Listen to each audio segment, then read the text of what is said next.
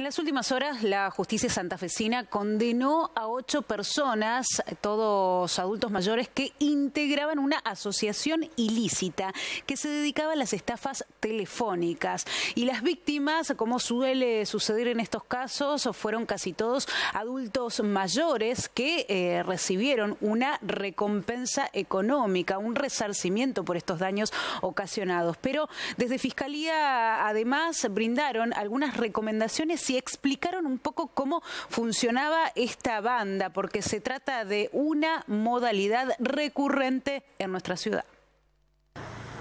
Hay una de las personas condenadas que ha sido el jefe organizador de la banda, es el que obtuvo cinco años de prisión y que ha abonado una, una reparación de casi tres millones de pesos y después los otros siete condenados han sido en carácter de miembro y que eh, la pena ha sido de tres años en suspenso, siempre eh, valorando, digamos, y estando de acuerdo todas las víctimas, a las cuales se toma para esto el consentimiento de ellas. Esta investigación comenzó en 2018 y finalmente los integrantes de la banda fueron condenados por estafas, teniendo que otorgar también un importante resarcimiento económico a las víctimas. Estamos hablando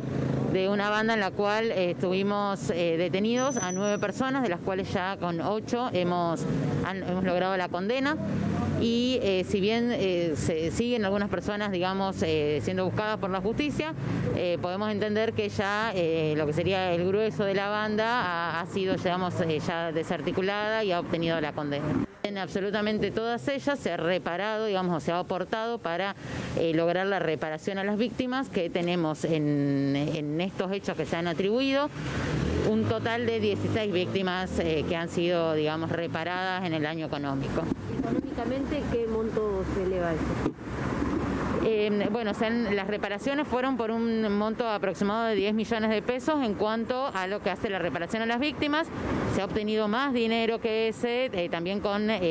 por medio, digamos, institutos como la multa o las donaciones que han sido para el Ministerio Público de la Acusación y además para otro tipo de organismos que, que, colaboran con las investigaciones o que son auxiliares de, la, de las investigaciones que llevamos adelante. A su vez, la fiscal advirtió que lamentablemente son delitos que se reiteran, por lo que las personas deben estar atentas para no caer en este engaño, en particular los adultos mayores, quienes vienen siendo las principales víctimas. Lamentablemente se pudo, digamos, solamente determinar los, delitos que han sufrido estas 16, pero ha habido, yo creo que al menos 100 en, en los dos años se pueden contabilizar.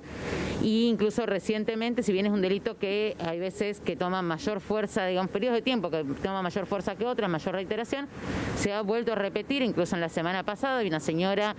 eh, de la ciudad que ha sido víctima de un hecho exactamente igual, en donde se recibe, siempre es idéntico, una llamada a teléfono fijo, siempre es a la línea fija. Y eh, hacen caer en el error a la persona de que están hablando con algún familiar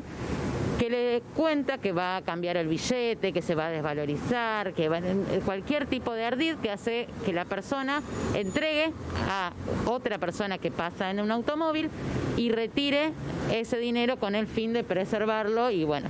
y ahí se consuma, se consuma la estafa.